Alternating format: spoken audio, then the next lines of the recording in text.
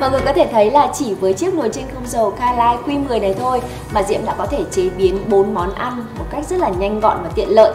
Và thành phẩm thì như mọi người thấy là món gà thì được chín rất là vàng đều, khoai tây chiên cũng vậy, cũng rất chín vàng đều và món pizza thì rất là thơm.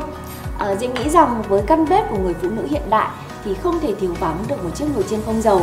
Và khi Diễm dùng chiếc nồi chiên không dầu Kalai này thì Diễm cảm nhận là có rất là nhiều ưu điểm. Đầu tiên đó chính là bảo vệ sức khỏe của người dùng vì khi dùng nồi chiên không dầu thì chúng ta sẽ hạn chế được lượng mỡ thừa trong cơ thể. Thứ hai đó chính là thời gian chế biến món ăn rất là nhanh gọn và tiện lợi. Người nấu chỉ việc chế biến món ăn sau đó đưa vào nồi chiên không dầu và chúng ta bấm nút và chờ, sau đó sẽ được thành phẩm món ăn rất là ngon.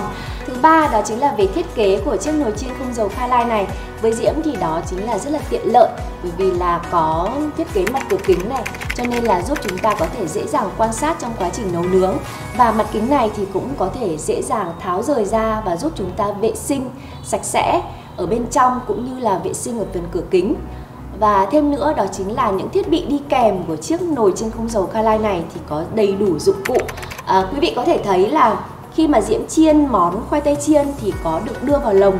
Chính vì thế mà chiếc lồng chiên này giúp cho uh, món khoai tây chiên được chín vàng đều hơn và giòn. Và thêm nữa đó là que xiên. Để khi mà chúng ta muốn nướng gà nguyên con chẳng hạn thì chúng ta có thể dùng que xiên vào con gà này. Và khi quay thì sẽ được chín gà sẽ chín vàng đều hơn.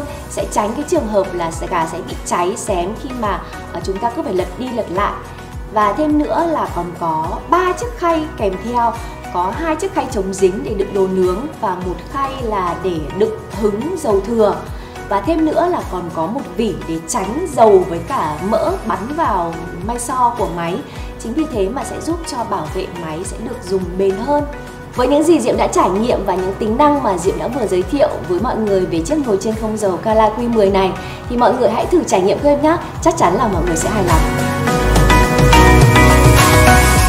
Hướng dẫn mua hàng từ video các bạn có nhu cầu đặt mua hãy bấm vào link đặt hàng bên dưới video bằng cách sau. Nếu xem trên điện thoại, hãy bấm vào tiêu đề của video. Khi đó màn hình sẽ hiển thị ra thông tin về sản phẩm. Bấm vào link mua hàng như hình, điện thoại của bạn sẽ mở ra website đặt mua. Nếu ở màn hình máy tính thì link sẽ nhìn thấy ngay bên dưới video. Các bạn chỉ việc bấm vào link và màn hình sẽ ra trang web công ty để đặt mua.